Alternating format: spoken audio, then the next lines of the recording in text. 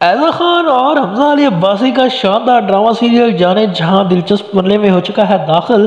तो episode number सात में क्या कुछ होगा जानिए इस वीडियो में। अगर है चैनल पे नया तो जल्दी से कर दें सब्सक्राइब बहुत ज़्यादा खुश है। महानूर कि उसे इजाज़त मिल गई शहराम की तरफ़ से कि आप जो है वो स्कूल पर आना स्टार्ट कर दें और वो खुशी खुशी घर चली जाती है। उधर जो है वो शहराम आर्डर देता है अपने जो है वो मुलाजम को कि यहाँ पर इंतज़ाम कर दो, यहाँ पर बच्चे आगे से पढ़ा करेंगे कल परसों से। जी हाँ तो ये बात किश्वर को तो ज़रा अच्छी नहीं लगती, लेकिन वो कुछ कर भी नहीं सकती क्योंकि शहराम का फैसला अटल है और वो शहराम को नाराज़ भी नहीं करना चाहती। उधर जो है वो सारा जो है वो बोर्ड्स वगैरह लेकर आ जाती है, महानूर, और बच्चों को पढ़ाना स्टार्ट कर देती है लॉन में, जो कि शहराम की हवेली में होता है।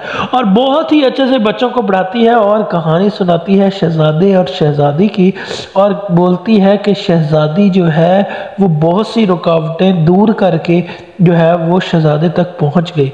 जी हाँ उधर जो है वो सारी बातें जो है वो शहराम सुन रहा होता है, पढ़ाने का अंदाज तो वो आगे आता है और बोलता है, जब छुट्टी हो जाती है, महानूर को और महनूर को कहता है कि मुझे आपके पढ़ाने का अंदाज बहुत ही ज़्यादा अच्छा लगा। अगर आप इजाज़त दें तो मैं यहाँ क्लास ले सकता हूँ। जी हाँ बहुत ही ज़्यादा जो है महानूर का जो है वो फ़ैन हो चुका है शहराम।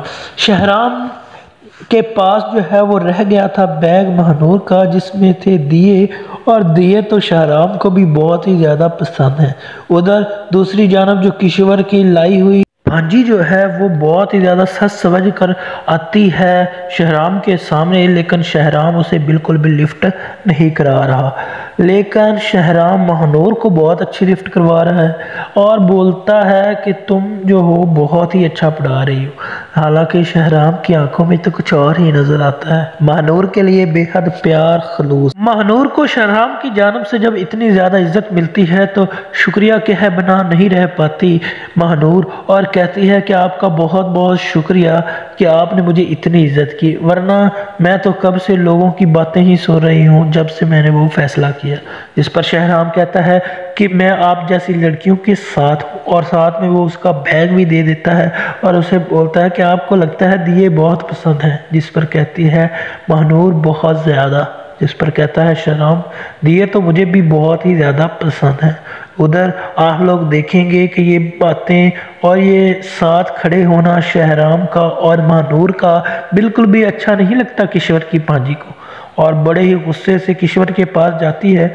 जब किश्वर कहती है अपनी भांजी को कि तुम्हें क्या चीज़ अच्छी नहीं लगी? शहराम का उस लड़की के साथ खड़े होना या उसकी खूबसूरती, कि वो बहुत ही ज़्यादा खूबसूरत है मानूर, जिस पर लाजवाब हो जाती है भांजी ईश्वर की और मूड बना लेती है, जिस पर कैश्वर कहती है कि फ़िक्र मत करो शहराम ऐसा बिल्कुल नहीं है और बहुत जल्द वो तुम्हारा हो जाएगा। जी हाँ इस पर बहुत ज़्यादा खुश होती है उसकी भांजी तो अब क्या किश्वर चलने वाली है? चाल के शहराब को दोबारा बिस्तर पर जो है वो लेटा दे। कमेंट में ज़रूर बताइएगा।